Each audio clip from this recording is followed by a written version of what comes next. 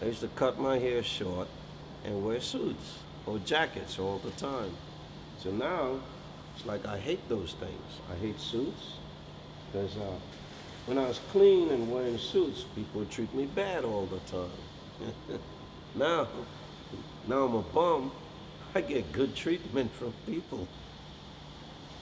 I used to stand on my leg from 6 in the morning to midnight. Yeah, because I used to work like 16, 18 hours a day. I was in a bank. I was photocopying all the money. so, so that was a lot of work that time. I was faster than the machine.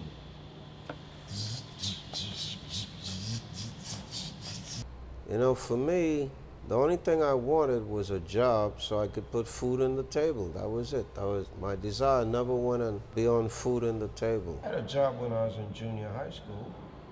I worked in a warehouse. My mother uh, harassing me about getting work. You know, she said, "You not working is my problem." I'm like, "No, no, it's not." She didn't care about me getting a job. Her thing is, you get job, I get money. I didn't want no job when I was young. I wanted education. I used to buy a lot of books, a lot of big, expensive books. What I did with the money I had from my jobs, I used to buy specialized books. That's how I used to get my pleasure. That was like my only pleasure. I didn't go to the movies. I didn't go to clubs or hang out. I used, just used to go to the library. I used to read uh, almost all the books in different areas. I enjoyed it immensely, you know.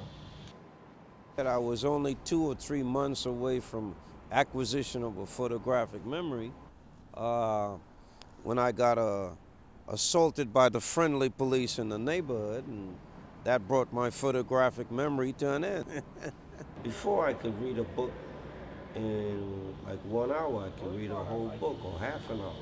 Uh, now I can't do that. I, you know, it will take me a week to read a book now, like like average people. Hmm. that kind of led me to become homeless because it, it, it, altered my life. Well, I stopped going to the library because I couldn't read anymore. Well, my mother never liked me, so she called the police. So the police said, well, if your mother don't like you, then you're no good, so we beat you. yeah, see, yeah. After the beatdown, I didn't sleep at all for six months. I was conscious all the time. It's not a good way to be, trust me. Two metal pipes. Boom. See, look. That's from the beating. See how that hand moves? After the beating, my whole body was moving like that. I was totally weak on, on one side. When I first became homeless, you know, people came over to help me, and that was surprising that people wanted to offer me help. But I used to turn it down. Must have been the second or third day of my homelessness. Uh, I turned this guy down. He had offered me $3, and he started to cry. So after that, I started taking whatever people offered me. That is sort of like, you know, saved me being homeless. Oh, thank you so much. And that enabled me to survive out here.